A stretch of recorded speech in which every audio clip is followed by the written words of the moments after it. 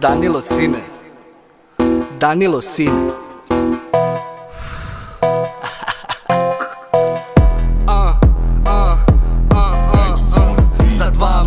Pukao sam 500 mića Reci koja priča, ma sve je sića.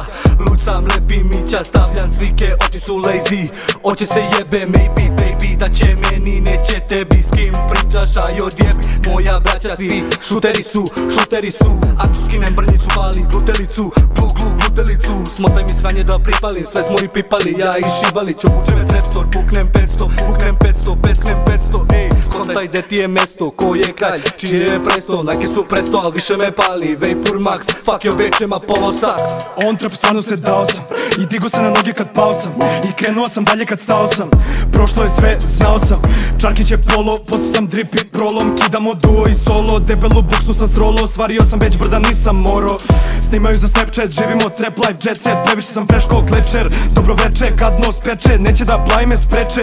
Pljuju iza leđa pa štucam Šta iza mene pa tuca Ne treba mi kardio, jurcam i ove tiću ribe ne silaze s kurca. Druže, svakakve priče kruže Tuđim se imenom služe Počnu pa posle se tuže. Zašto to rade? Tako? Živim svoj život kao gladijator Živim svoj život kao mladi mator. Grem ovu scenu kao radijator Nisam plagijator. Jedan brat mi je preko Svako od nas postaće neko. Driblam po traci kod eko Driblam po kraju kad prati nas spektor Jel dosta? Ajde još četiri, konjak i viski, ja kvasim po jetri. Nemamo greške, od uvek smo spretni. Nemamo greške, od uvek smo spremni. Došao je peški, a voli da preti. Mnogo je hajpa, mora da sleti. Jurimo dinare, mnogo su lepi